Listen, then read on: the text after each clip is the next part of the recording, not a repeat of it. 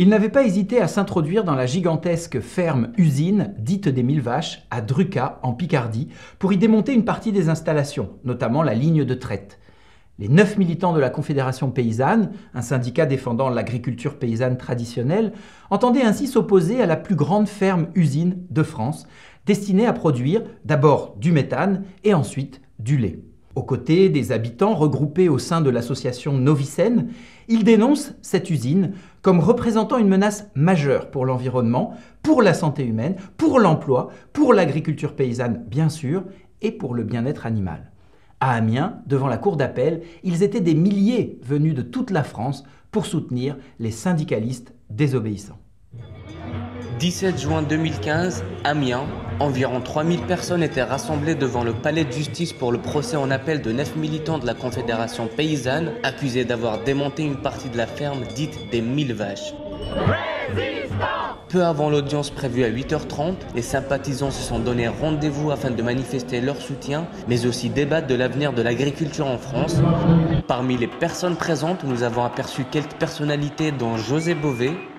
Pour soutenir l'action qui est menée depuis le début par les habitants de la région dans l'association Novicène.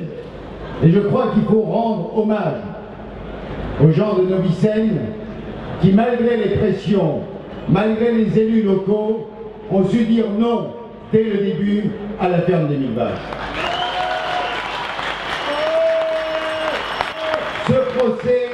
Aujourd'hui ne devrait pas avoir lieu.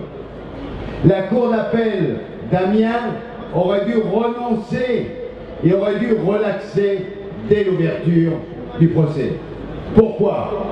Mais pour une raison très simple, c'est qu'il y a semaine dernière, cette ferme a été enfin reconnue comme illégale. Monsieur Ramery a menti, mais ça on le savait depuis le début qu'il avait menti. Aujourd'hui, c'est Ramery qui est dans l'illégalité.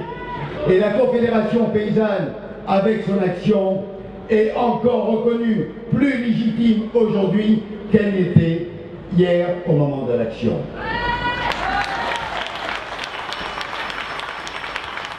Alors il n'y a qu'une solution dans cette affaire.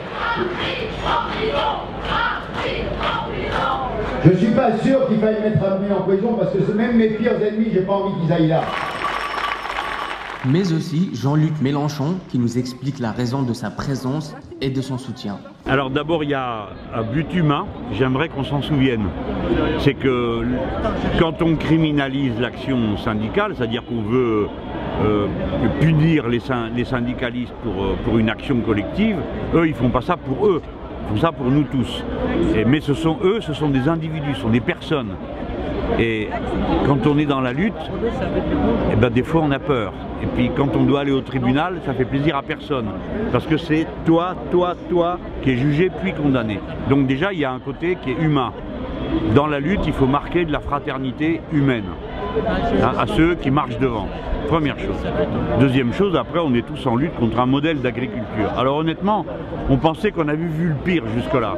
Honnêtement, on pensait que, bon, euh, dans le domaine des dégâts, on ne pouvait pas faire plus. Bah si, il faut rester optimiste, on est toujours capable de faire pire. Et les fermes de mille vaches, c'est une espèce de, de totem, d'emblème du type d'agriculture qu'ils veulent faire vivre. Ça tombe à un moment très précis, qui est la suppression des quotas laitiers. Donc on a fabriqué les usines à lait et où ce n'est pas un animal qu'on a, c'est une machine à produire du lait et du caca. Avec le caca, on fait du méthane, et avec euh, euh, le lait, on, va euh, déverser ça dans les circuits commerciaux. Évidemment, comme ce sont des productions de masse, elles vont être à des prix inférieurs à ceux que pratique l'agriculture paysanne, pour ne parler qu'elle, hein, et donc la dévaster. Et à la fin, comme dans les autres domaines, vous aurez une concentration avec des méthodes de travail, des méthodes de rapport à la nature absolument dévastateurs. Et là, pour la première fois, on s'en fiche. On prend la ressource jusqu'à ce qu'elle crève. Quand la vache a fait son travail, allez hop, à l'écarissage et elle vit dans 1,5 m de large. Voilà. Et ça, je finis là-dessus, puisque j'ai commencé par l'humain, je termine par l'humain. Ça, ça doit nous faire réfléchir.